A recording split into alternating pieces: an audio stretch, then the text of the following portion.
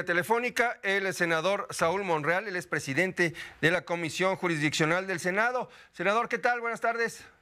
Muy buenas tardes, gusto en saludarlo. Gracias, senador. Oiga, ¿qué le parece esta suspensión definitiva que ha otorgado la jueza de Morelos, Marta Eugenia Magaña?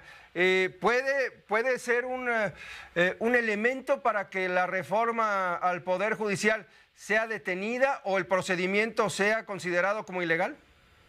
No, por supuesto que no, es improcedente.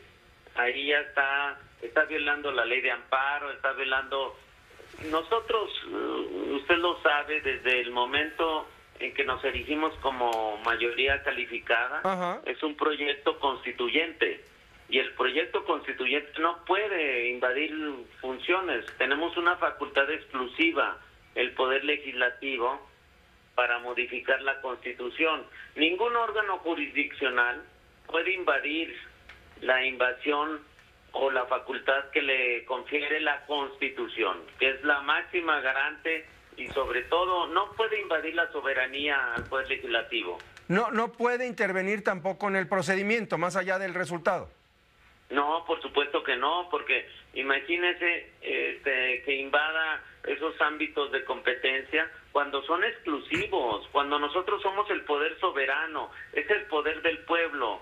Por eso eh, de entrada le digo es una violación garante a la Constitución y nosotros somos los representantes del pueblo. Eso nunca lo vamos a invadir. Precisamente el día de ayer yo subí a tribuna para defender la soberanía, porque no podemos permitir que un órgano jurisdiccional viole la Constitución y sobre todo invada las, las facultades que le concede la Constitución al Poder Legislativo. Senador Monreal, eh, ¿el Poder Legislativo debe actuar en consecuencia, presentar una queja o una denuncia? Ya se habían eh, anunciado eh, pues denuncias y peticiones de juicio político por parte del diputado Gutiérrez Luna y el diputado Ricardo Monreal dijo, no, espérense, no hay que llegar tan lejos. Pero vamos, si se está violando la ley, debe haber consecuencias, ¿no? Sí, por supuesto. Incluso los garantes, por eso la reforma al Poder Judicial, porque fíjese, alguien que debe de, sobre todo de vigilar el actuar de los jueces es la el Consejo de la Judicatura Federal y ahora nosotros lo estamos eh, le estamos pidiendo al Consejo de la Judicatura Federal que inicie procedimiento porque no podemos permitir eso y el Consejo de la Judicatura Federal debe de actuar en consecuencia e incluso amerita a juicio político.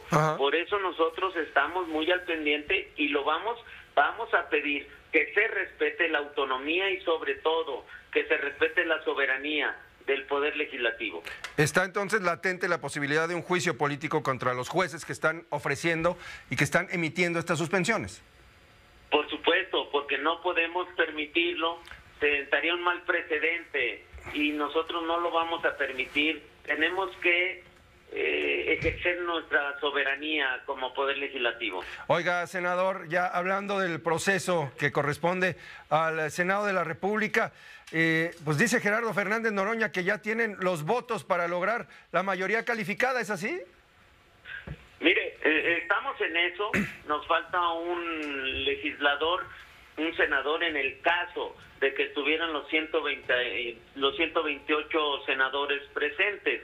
Pero estamos estamos en eso. Yo lo que le digo es que estamos preparados y que estamos listos para dar el debate. El día de hoy ya se recibió de parte de la Cámara de Diputados la minuta y sobre todo el proyecto de reforma del Poder Judicial de la Federación ya inicia, se instala ya, eh, acá en el Senado van a ser dos comisiones, la Comisión de Estudios Legislativos y la Comisión de Puntos Constitucionales, quien se encargue de dar el dictamen para la aprobación. Yo espero que el martes y el miércoles, el, el martes sea lectura del dictamen de, la, de estas comisiones unidas y el miércoles sea la discusión y aprobación de esta reforma constitucional.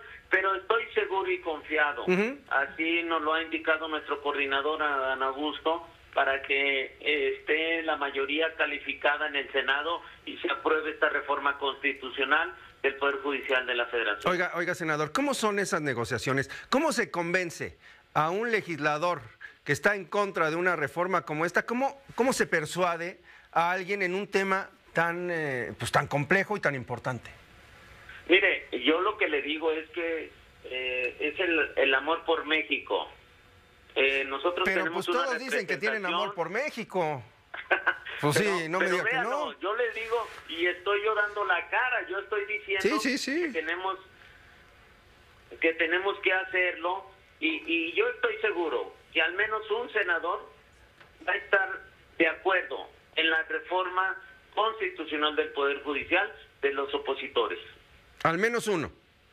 Sí, por supuesto. Nos falta uno en el escenario de que fueran los 128, que el, que la mayoría, que el, que el Pleno estuviera conformada por los 128, como así debe de ser. Bueno, bastaría con convencer a alguien de que no se presentara o de que se enfermase. Pues, pues no sé si se enferme o no, pero nosotros estamos obligados, estamos preparados e incluso, te lo digo, para dar el debate, no nada más para... Eh, yo, la verdad, yo deseo que todos eh, votemos a conciencia y sobre todo por ese cariño. Ese, mire, usted lo sabe, que desde un principio, desde el 5, desde el mes de febrero que presentó la iniciativa del presidente de la República, yo fui electo por mayoría en el estado de Zacatecas y todos, todos, no hay algo, no hay ningún secreto. Siempre mi parte de mi propuesta de campaña fue el, el, segundo piso de la cuarta transformación. Esto es parte del segundo piso. Siempre lo dijimos que íbamos a, tener esta reforma constitucional del Poder Judicial y la gente estuvo de acuerdo, nos dio esa legitimidad y por eso la estamos ejerciendo, porque es un respaldo ciudadano. Muy bien. Senador, muchas gracias por tomarnos esta llamada y platicar con la audiencia de Grupo Fórmula. Cualquier cosa, cualquier cosa estoy a la orden y gusto en saludarlos. Saluda a todo el auditorio de Grupo Fórmula. Gracias, buenas tardes. Es el senador Saúl Monreal de Morena. Vamos a...